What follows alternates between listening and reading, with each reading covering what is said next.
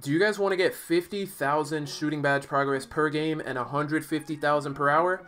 If you do, make sure to watch this whole video because I'm going to show you guys the best shooting badge method in NBA 2K21 current gen and throughout the video I'm going to give you guys tips to make this method as easy as possible.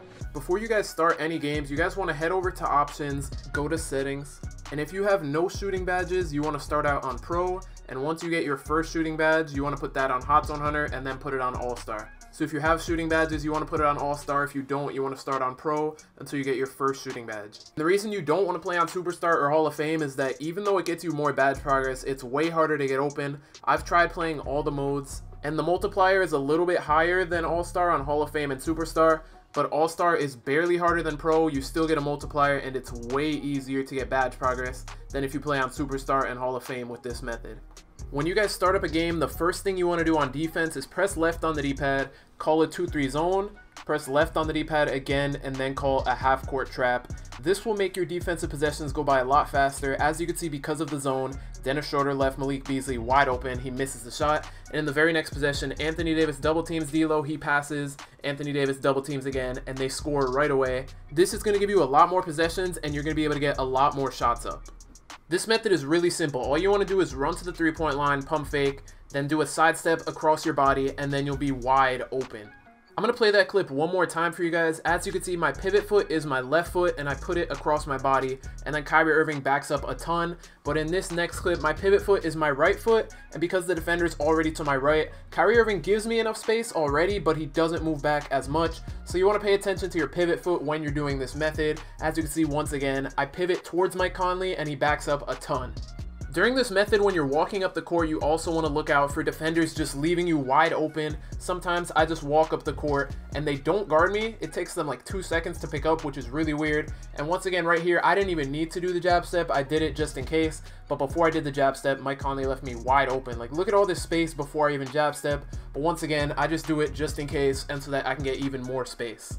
I know that I have my meter on in these clips, but once you master your jump shot, make sure to turn your jump shot meter off because when you do time your shot well, you will get a good release, and this is especially good if your three-pointer is a little bit lower. That extra boost for good timing when you have your meter off will help a lot.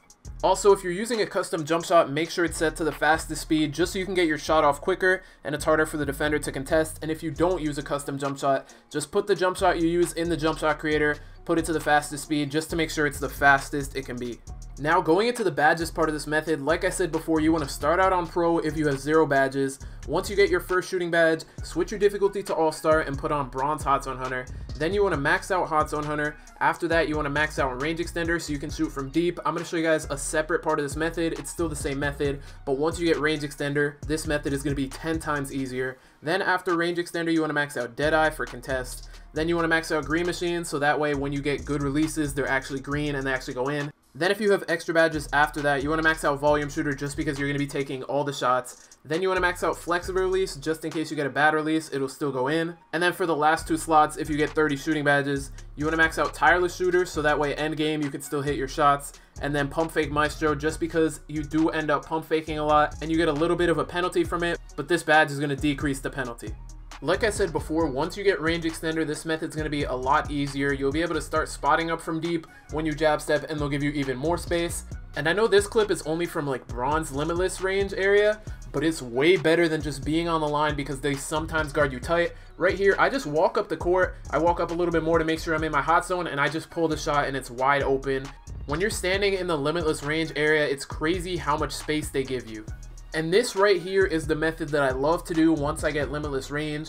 I just run up the court and then I just stop moving at the three-point line or a little bit behind the three-point line because I have range extender. And look at this. They give you so much space. It's kind of like a stutter step where you start sprinting and then you just stop. As you can see, I had 18 three-pointers in this game shooting 95%. So you just walk up the court, you start running for a split second, and then you stop. And they're going to think you're going to keep running and you'll be wide open from the three. And once again, even if you do catch and shoot before you do the jab step, if you're standing limitless, it takes them even longer to guard you.